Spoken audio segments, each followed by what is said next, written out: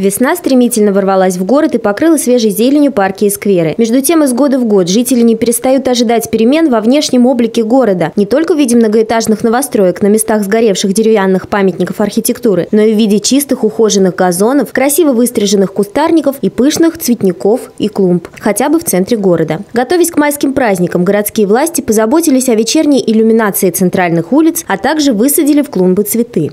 В этом году мы, например, вот новый вид петуния сделали, то есть махровый будет присутствовать у нас. Это, то есть выбирает у нас дизайнер, занимается подборкой клумб, какие будут.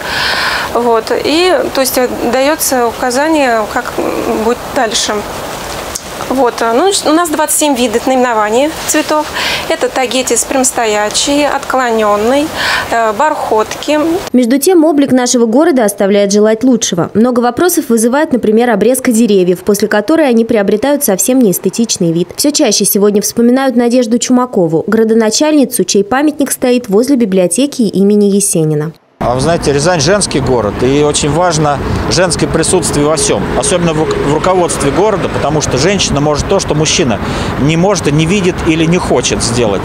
У женщины хозяйский взгляд. Она как дома у себя жила, всю жизнь прожила, действительно считая Рязань своим домом. И этого очень не хватает многим руководителям, да, вообще в России. Первый памятник мэру, Ряза, э, мэру города появился в Рязани. Не получая желаемого результата от городских властей, жители сами инициируют перемены и стремятся благоустроить место, в котором живут. Сквер на улице Советской армии. Место, любимое жителями Большого спального района, Дашкова песочни. Недавно у инициативной группы родилась идея сделать из этого сквера парк, где занятия по душе найдет каждый районы Дашки все-таки это такой крупный район, где очень много деток, много семей молодых.